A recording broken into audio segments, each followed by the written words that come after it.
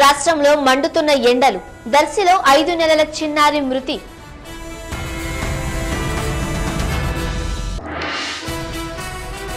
బద్వేలు బస్టాండ్లో ఘోరం తొమ్మిదేళ్ళ బాలుడిని ఢీకొన్న బస్.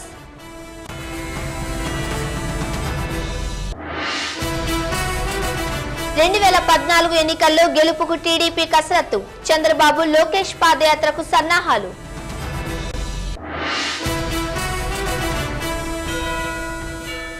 అమెరికాలో తానా మహాసభల సంబరాలు హాజరైన పలువురు ప్రముఖులు.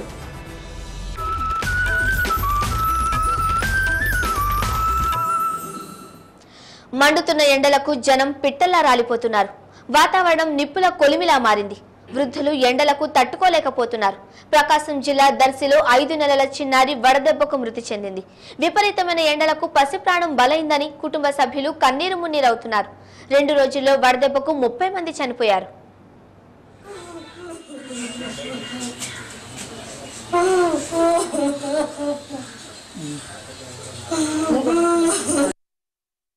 నరేష్ వెంకటలక్ష్మి అనే దంపతులు రెండు వీళ్ళు. ఇక్కడ శివయ్య అని ఇక్కడ ఇస్త్రీ బండి చేసుకుంటా ఉంటారు పొదల రోడ్లో ఉంటారు. ఆ అమ్మాయిని వాళ్ళకి శివయ్య వాళ్ళకి నాలుగో సంతానం ఈ అమ్మాయి వెంకటలక్ష్మి. ఆ అమ్మాయిని పెద్ద ఆరంభించున్నారు అయితే డెలివరీకి తీసుకొచ్చారు. ఇప్పుడు ఐదో నెల వచ్చింది పాప అమ్మాయికి. అయితే నిన్న మధ్యాహ్నం నుండి బాగానే ఆడుకుంటుందన్నారు. నాలుగు గంటల తర్వాత కొంచెం ఏలబడిపోయినట్టు ఉంటుంది. ఏదో మరి బాగలేదని హాస్పిటల్కి తీసుకెళ్ళాలని తీసుకెళ్ళారు. తీసుకెళ్ళిన తర్వాత మళ్ళీ వాళ్ళు ఏదో మెడిసిన్ ఇచ్చారు. ఇచ్చిన తర్వాత కూడా అది వాడారు. వాడుతున్నా కూడా అది మా ఇంకా కంట్రోల్ అవ్వకుండా ఇంకా అమ్మాయి కోమలోకి వెళ్ళిపోయి చనిపోవడం జరిగింది. కడప జిల్లా బద్వేలు బస్టాండ్లో ఘోరం జరిగింది. బస్టాండ్ ఆవరణలో దూసుకొచ్చిన బస్సు తొమ్మిదేళ్ళ రాకేష్ అనే బాలుడిని ఢీకొట్టింది. దీంతో బాలుడు అక్కడికక్కడే చనిపోయాడు. కళ్ళ ముందే కొడుకును పోగొట్టుకున్న తల్లిదండ్రులు గుండెలు పగిలేలా ఏడుస్తున్నారు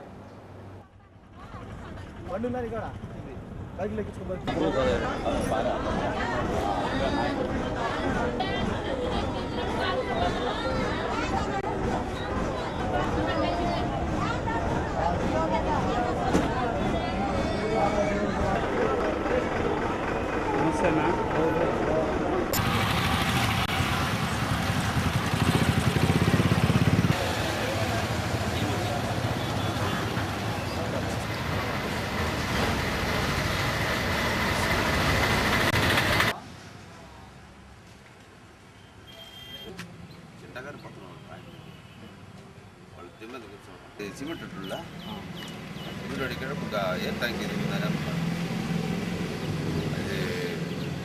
అన్నా నుంచి వస్తున్నాము కాలంలో ఇక్కడ దిగాము దిగి మేము బెంగళూరు బ్రహ్మ గారు పట్టం పోవాలని చెప్పేసి ఇక్కడ బస్సులో వెయిట్ చేస్తాము అట్లా ఉండేసరికి బస్సు సర్లు వచ్చేసింది పిల్లోడు అక్కడే కూర్చోన్నాడు తమ్మని కానుకోండి అది బస్సు సర్లు వచ్చేసి గుద్దేసింది మేము పక్కన పై పై మేము పరిగెత్తేసరికి బస్సు పారిపోయి ఉంది అమెరికా డాలర్స్లోని కన్వెన్షన్ సెంటర్లో పంతొమ్మిదవ తానా సభలు ఘనంగా మొదలయ్యాయి. కేంద్ర పర్యాటక శాఖ మంత్రి చిరంజీవి మహాసభలను ప్రారంభించారు. మూడు రోజుల పాటు జరిగే ఈ సభలకు రాష్ట్రం నుంచి పలువురు ప్రముఖులు హాజరయ్యారు.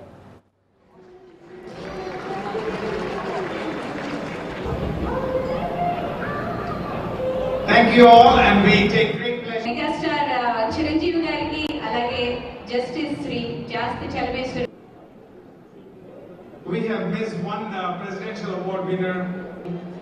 Night అండి thank you thank you all cancer వ్యాధిని వీలైనంత ముందుగా గమనిస్తే ఆ నమూనాతో TANA foundation Indo American cancer screening camps నిర్వహించింది చాలా మందిని ప్రాణాపాయం నుండి తప్పించింది కూడా మరి ఈ క్యాంపులే జరగకపోతే ఆ కుటుంబాల్లో చీకటి విషాదం నిండేది ఔదార్యవంతులు సామాజిక స్పృహ కలిగిన సహృదయులు దాతలు స్వచ్ఛంద సేవకులు వీరందరి అనుకరిత కృషి ఫలితమే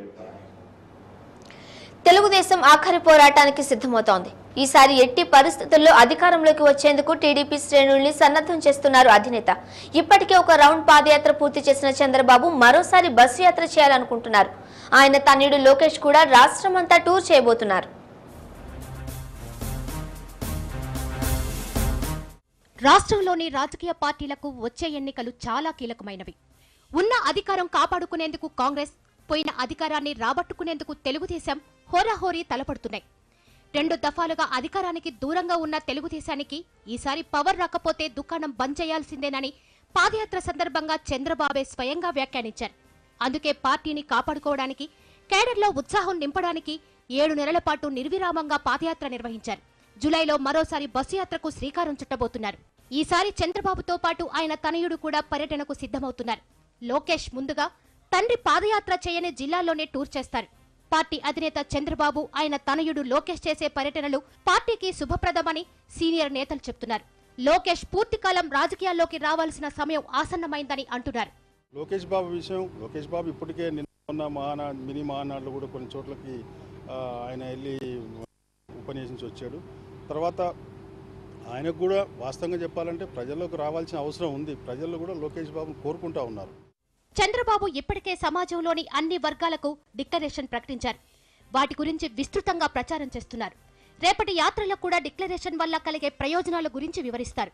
చంద్రబాబు జూన్లో అమెరికా వెళ్ళనున్నారు అక్కడి నుంచి రాగానే రెండు వందల తొంభై నాలుగు నియోజకవర్గాలకు ఇన్ఛార్జీలను ఖరారు చేసి పార్టీలో ఉన్న విభేదాలు పరిష్కరించి ఆ తర్వాత జూలైలో బస్సు యాత్ర చేస్తారని సమాచారం.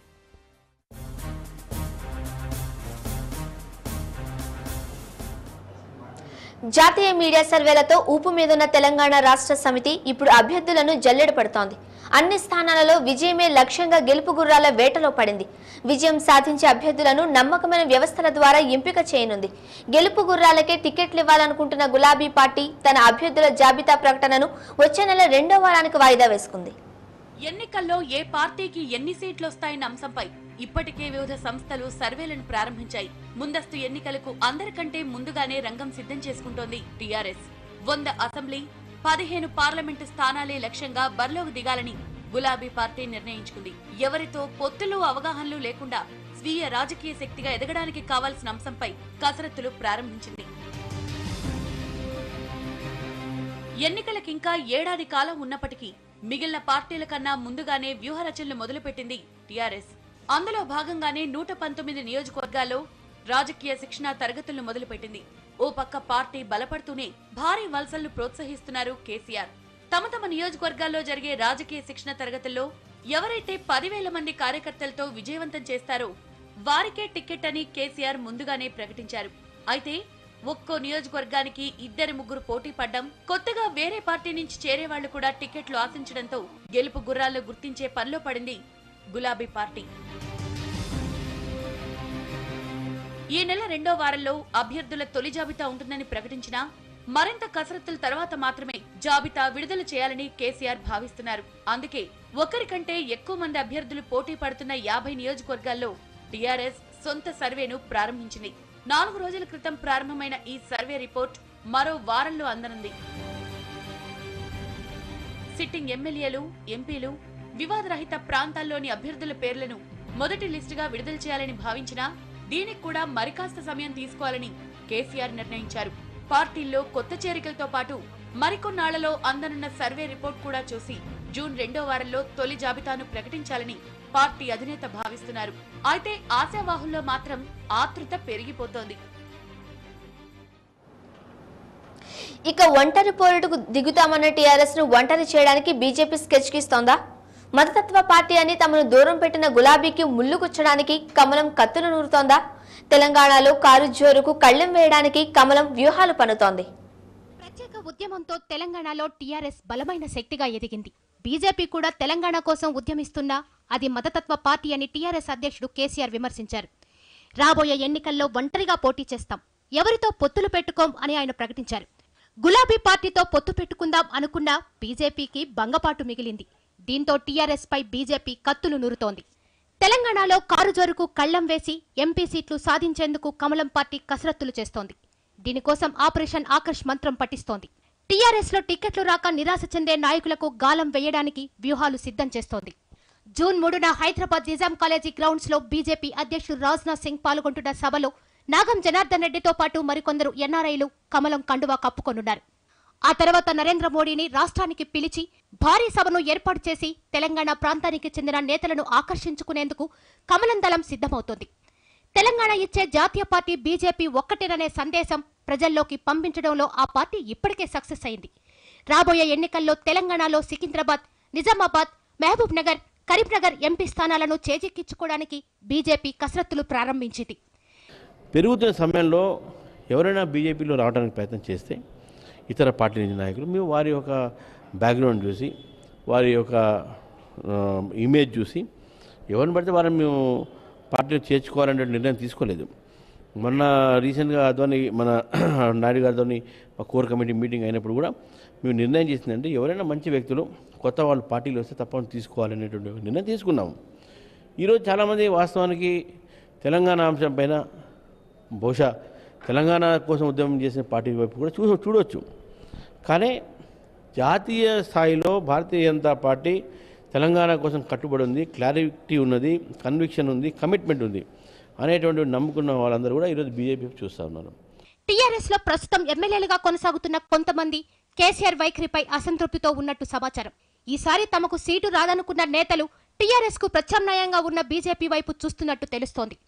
భవిష్యత్తులో రాములమ్మ టీఆర్ఎస్తో విభేదిస్తే ఆమెను కూడా స్వగృహానికి తెచ్చుకునేందుకు బీజేపీ ద్వారాలు తెరిచే ఉంచింది. ఆ ఆప్షన్ కూడా రిజర్వ్లో ఉంచుకుంది. ఈసారి సీమాంధ్రలో కూడా పాగా వేస్తామని బీజేపీ ధీమా వ్యక్తం చేస్తోంది. కోస్తాంధ్రలో కూడా మేము రాబోయేటువంటి రోజుల్లో ఈ యొక్క కాంగ్రెస్ తెలుగుదేశం జగన్ కాంగ్రెస్కు ప్రత్యామ్నాయంగా భారతీయ జనతా పార్టీ ఎదుగుతుంది. మేము తప్పనిసరిగా మెజారిటీ స్థానాలు సాధిస్తామని మాకు ప్రగాఢమైనటువంటి నమ్మకం. జూన్ నుంచి తెలంగాణ ప్రాంతంలోనే కాకుండా సీమాంధ్రలో కూడా సమావేశాలు ఏర్పాటు చేసి ప్రజల్లోకి వెళ్ళడానికి బీజేపీ ప్రణాళికలు సిద్ధం చేస్తోంది. కార్మికుల హక్కుల గురించి మాట్లాడకూడదు. కేవలం బాధ్యతలు మాత్రమే నిర్వర్తించాలి. యాజమాన్యానికి నచ్చకపోయినా కార్మికుడికి కోపం వచ్చినా నష్టం పనివాడికే. కార్మికులు నిరసనకు దిగుతారని ముందే భావించిన పోలీసులు కర్మాగారం చుట్టూ భారీగా మోహరించారు. లాకౌట్తో వందల మంది కార్మికులు రోడ్డున పడ్డారు. విద్యుత్ కోతలను సాకుగా చూపి లాకౌట్ ప్రకటించడంపై కార్మిక సంఘాలు మండిపడుతున్నాయి.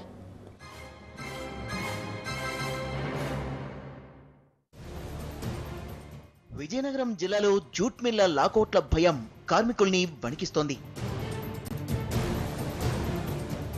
జిల్లాలో అర్ధాంతరంగా జూట్ మిల్లులు లాకౌట్ ప్రకటించడంతో కార్మికులు రోడ్డున పడుతున్నారు. లాకౌట్ నోటీసులు విద్యుత్ కోతల్ని కూడా ఓ కారణంగా చూపిస్తున్నారు. ఇలా ఇప్పటికే జిల్లాలో చాలా మిల్లులు మూతపడ్డాయి. యాజమాన్యాలు అవలంబిస్తున్న విధానాలపై కార్మికులు ప్రశ్నిస్తే వారిని భయాందోళనకు గురిచేసి పోలీసుల్ని ఉచిగొల్పి కేసులు పెడుతున్నారని వాపోతున్నారు కార్మికులు. ఇందుకు జిల్లా కేంద్రంలో మూతపడ్డ శ్రీ లక్ష్మి శ్రీనివాస జూట్ మిల్సే ఓ ఉదాహరణ. పర్మనెంట్ కార్మికులకు హ్యాండ్ ఇచ్చి కాంట్రాక్ట్ కార్మికులతో కథ నడిపిద్దామనుకుంటున్న యాజమాన్యం దురాలోచనతో కార్మిక చట్టాల్ని తొంగలోకి తొక్కింది. కాంట్రాక్ట్ కార్మికులతో కొత్తగా ఏర్పాటు చేసిన మగ్గాలపై పనిచేస్తూ ఉత్పత్తి వ్యయాన్ని తగ్గించేందుకు మిల్లుల యాజమాన్యం ప్రణాళికను సిద్ధం చేసింది. అందులో భాగంగా అడ్జిస్టింగ్ మగ్గాలతో పాటు కొత్తగా మగ్గాల్ని ఏర్పాటు చేసి కాంట్రాక్ట్ కార్మికుల్ని విధుల్లోకి తీసుకుంది. పర్మనెంట్ కార్మికులకు పని గంటలు తగ్గిస్తూ వస్తుండడంతో జీతాల్లో కోతలు ఏర్పడుతున్నాయి. ఇదే అంశంపై కార్మికులు ఆందోళనకు దిగడంతో విద్యుత్ సరఫరాను నిలిపివేసి ఉత్పత్తిని ఆపేసిందని వాపోయారు కార్మికులు. పర్మనెంట్ మగ్గాలు పాత ఉన్నప్పుడు వాళ్ళకి కండెలు అనేటువంటి సరఫరా చేయకుండా కాంట్రాక్ట్ గొడవల్లో ఉండే వాళ్ళకి కండెలు సరఫరా చేయడం వల్ల ఆ కండెలు పర్మనెంట్ ఉండే వాళ్ళకి అందకపోవడం వల్ల వాళ్ళకి నెలకి రెండు వందల డెబ్బై రూపాయలు సుమారుగా జీతం కటింగ్లు అయిపోతున్నాయి. మేము కూడా ముందు ఒక దశలో అయితే పవర్ కూడా ఆపడం జరిగింది మగ్గాల డిపార్ట్మెంట్కి. ఆ పవర్ ఎప్పుడైతే ఆగిందో కార్మికులు మరి పవర్ లేదు కదా మనం ఏం చేస్తామని బయటకు వచ్చేయడం జరిగింది. దాని ద్వారా ఏకంగా మిల్ బంద్ అయిపోయింది. జూట్ మిల్ మూతపడ్డంతో అందులో పనిచేసే మూడు వందల మంది కార్మికులు పోరాట బాట పట్టారు. అధికారుల సమక్షంలో చర్చలు జరిపి మూతపడ్డ మిల్లును తెరిపించగలిగారు కానీ హక్కుల్ని మాత్రం సాధించుకోలేకపోయారు. ఈ ఘటన జరిగి నెల రోజులు గడవక ముందే జిల్లాలోని కొత్త వలస ఉమా జూట్ మిల్ మూతపడింది. ఏడు వందల మంది కార్మికులు వీధిన పడ్డారు. ఉమా జూట్ మిల్ మూతపడ్డం ఇది రెండోసారి. యాజమాన్యం కుట్రపూరిత ఆలోచనతో ముడిసరుకును ముందే బయటకు తరలించింది. సకాలంలో వేతనాలు ఇవ్వాలన్న కార్మికుల న్యాయమైన కోరిక యాజమాన్యానికి రుచించలేదు. అంతే కార్మికులపైకి పోలీసులను ఉసిగొలిపి కేసులు పెట్టించింది. ఈ నేపథ్యంలోనే కార్మికులు ఆందోళనకు దిగారు. మేనేజ్మెంట్ ఒక కార్మిక ఐక్యతను దెబ్బతీయాలని వాళ్ళని మమ్మల్ని అణిచేయాలని ఒక దురుద్దేశంతోనే జీతాలు అవి పెంచకుండా ఉండాలని ఒక దురుద్దేశంతోనే వాళ్ళు లాకౌట్ అక్రమంగా మాకు ఎటువంటి నోటీసులు కానీ ఏ కానీ ఇవ్వకుండా మాకు యూనియన్కి తెలియపరచకుండా ఈ విధంగా ఏ షిఫ్ట్కి డ్యూటీకి హాజరవ్వాలనే ఉద్దేశంతో వస్తే గేట్లు బంద్ చేసి సెక్యూరిటీ ద్వారా మేము డ్యూటీకి అలవ చేయమని అక్కడ ఒక బోర్డు కూడా పెట్టారు లాకౌట్ చేస్తున్నాం. కారణాలుండవు. ముందస్తు హెచ్చరికలు ఉండనే ఉండవు. హఠాత్తుగా పోలీసులు ప్రత్యక్షమవుతారు. కర్మాగారం మూతబడుతుంది కార్మికులు వీధిన పడతారు. ఇవి విజయనగరం జిల్లాలో జూట్ మిల్ పరిశ్రమల్లో తరచూ జరిగే పరిణామాలు. లాకౌట్ చేయాలంటే యాజమాన్యం రాష్ట్ర ప్రభుత్వం తాలూకా పర్మిషన్ తీసుకోవాలి. తొంభై రోజుల ముందే పిటిషన్ పెట్టాలి. పిటిషన్ అనుమతించిన తర్వాత లాకౌట్ చేయాలి. ఆ రకమైన అది అది చట్ట వ్యతిరేకమైన లాకౌట్ దానికి వేతనం కూడా ఇచ్చుకోవాలి. అయితే ప్రభుత్వాలు యాజమాన్యాలు కొమ్ము కాస్తున్నందువల్ల ఇటువంటి పరిస్థితి ఉంది. మొత్తం కార్మిక సంఘాలు కార్మిక వర్గం ఒక త్రాటి మీదకి వచ్చి ఈ జూట్ యాజమాన్యాల చట్ట వ్యతిరేక కార్మిక వ్యతిరేక చర్యలకు వ్యతిరేకంగా పోరాడడానికి సిద్ధం సంసిద్ధం కావడం ఒకటే దీని పరిష్కార మార్గం అని మేము భావిస్తున్నాం. జిల్లాలో ఎక్కువగా జూట్ పరిశ్రమలున్నాయి. సాధారణంగా వాటిపైనే ఆధారపడి బతికే కార్మికులు అధికంగా ఉంటారు. తక్కువ వ్యయంతో ఎక్కువ ఉత్పత్తి సాధించాలని ఫ్యాక్టరీ యాజమాన్యపు కొత్త ఆలోచనలు కార్మికుల పాలిట శాపాలుగా మారుతున్నాయి. అందులో భాగంగానే కాంట్రాక్ట్ విధానం పుట్టుకొచ్చింది. ప్రజాప్రతినిధులు పట్టించుకోకపోవడంతో ఇటువంటి పరిస్థితులు తలెత్తుతున్నాయని ఆవేదన వ్యక్తం చేస్తున్నాయి కార్మిక సంఘాలు. ఈరోజు యాజమాన్యాల్లో దౌర్జన్యంగా లాకౌట్లు విధిస్తున్నారు. దీనివల్ల కార్మికవర్గం తీవ్రంగా నష్టపోతుంది. కాబట్టి ఇప్పటికైనా సరే జిల్లా అధికారులు జిల్లా మంత్రి గారు అలాగే లేబర్ అధికారులు కలుగు చేసుకొని ఈ జూట్ కార్మిక వర్గాన్ని ఈ జిల్లాలో ప్రధానమైన పరిశ్రమైన జూట్ కార్మికులను ఆదుకోవడం కోసం కృషి చేయాలని చెప్పి విజ్ఞప్తి చేస్తున్నాం. విజయనగరం జిల్లాలోని జూట్ కార్మికులకు పోరాటాలు కొత్త కాదు. రాస్తా రోకోలు రైలు రోకోలు చేసిన చరిత్ర ఉంది. హక్కుల కోసం ప్రాణాలు విడిచిన సందర్భాలు ఉన్నాయి. జిల్లాలో లాకౌట్లో పర్వం నడుస్తున్న నేపథ్యంలో కార్మికులు మరోసారి తమ పోరాటాన్ని ఉధృతం చేసే పరిస్థితి కనిపిస్తోంది.